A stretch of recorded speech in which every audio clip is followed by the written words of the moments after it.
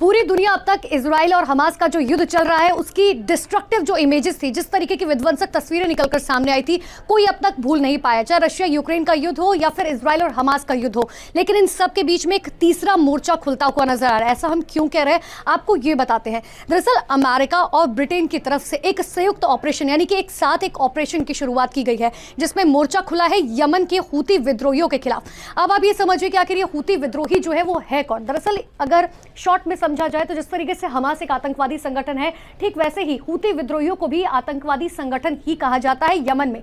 आप ये समझिए कि यमन में जो है, यमन की सरकार का नहीं चलता है। वहाँ पे जो है आधे से ज़्यादा यमन जो है, उसमें आधे से ज़्यादा जो पूरी तरीके से कब्जा है, वो हूती विद्रोहियों का है। यहाँ तक कि यमन की कुछ जगह जहाँ पर यमन की सरकार की चलती है, बाकी जगह पर हूती विद्रोहियों का ही चलता है, जिस तरीके से हम हमास का भी देख चुके हैं।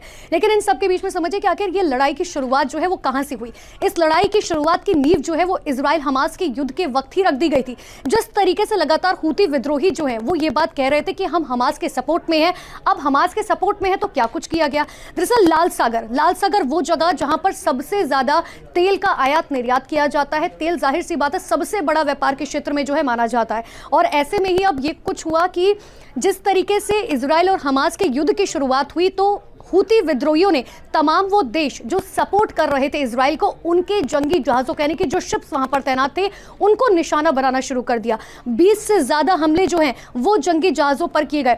बार बार जो है ये कोशिश की, की जाती रही तमाम देशों की तरफ़ से कि हूती विद्रोही जो है वो समझ जाए कि वो जो है बार बार उन्हें कोशिश की जाती रही बार बार बात करने की कोशिश की जाती रही चाहे वो भारत हो अमेरिका हो ब्रिटेन हो चीन हो फ्रांस हो क्योंकि तमाम देशों के जो है जहाज़ वहाँ पर उस लाल सागर में मौजूद है। लेकिन ऐसा कुछ हुआ नहीं। हूती विद्रोही जो है वो समझने को तैयार नहीं थे। अब क्या था? अब आ, कुछ हुआ इस तरीके से कि अमेरिका और ब्रिटेन के बीच में लगातार कई मीटिंग्स हुई और ये डिसाइड किया गया कि अब हूती विद्रोहियों को जो है सबक सिखाना होगा।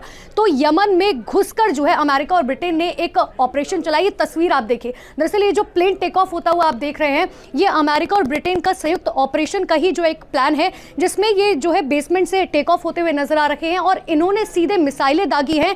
यमन के अंदर हूती विद्रोहियों के ठिकानों पर। जिस तरीके से इसराइल में हमने देखा था कि हमास के ठिकानों पर जो है यहाँ तक कि, यानी कि समझिए जहाँ ठिकाने वो होते हैं, जहाँ पर लोग रहते हैं, यानी कि जहाँ पर हूती विद्रोही जो है वो लगातार रह रखे हैं, उनको लेकर जो है अब ये कोशिश की जाती रही। लेकिन इन सब के बीच में आप ये समझिए कि अब ऐसे में इसका असर जो है वो दुनिया पर क्या होगा? क्योंकि तेल आयात निर्यात की बात करें तो सबसे बड़ा व्यापारिक क्षेत्र जो है वो तेल का ही है, ये बात हर कोई जानता है। लेकिन अब जब इतने ज़्यादा जंगी जहाज़ों को निशाना बनाया गया और अब जब अमेरिका और ब्रिटेन साथ आकर ये ऑपरेशन कर रहे हैं तो ज़ाहिर तौर पर यह कहा जा रहा है कि हूती विद्रोही जो है, वो भी चुप नहीं बैठेंगे और आने वाले दिनों में अरब सागर में और भी लड़ाई जो है, वो तीसरे मोर्चे पर जो है, वो बहुत ज़्यादा बढ़ सकती है।